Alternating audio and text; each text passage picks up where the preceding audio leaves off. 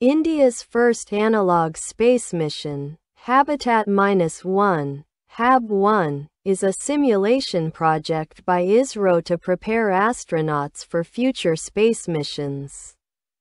The egg-shaped structure was tested in Ladakh, a high-altitude region with conditions resembling lunar and Martian environments.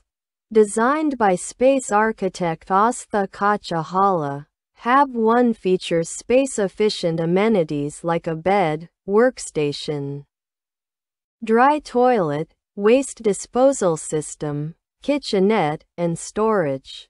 A single astronaut stayed inside for three weeks, undergoing constant monitoring to test psychological and physical endurance.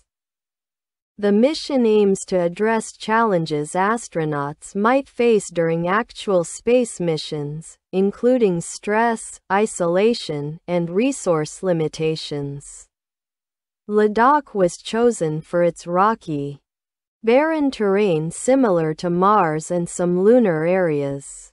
Its extreme climate and thin air further simulate space-like conditions. Soil samples from the region are being analyzed to explore the potential of using local materials for constructing extraterrestrial habitats. This mission aligns with India's space exploration goals including the Gaganyaan mission, planned for next year, to send astronauts to low Earth orbit and establish a space station by 2035.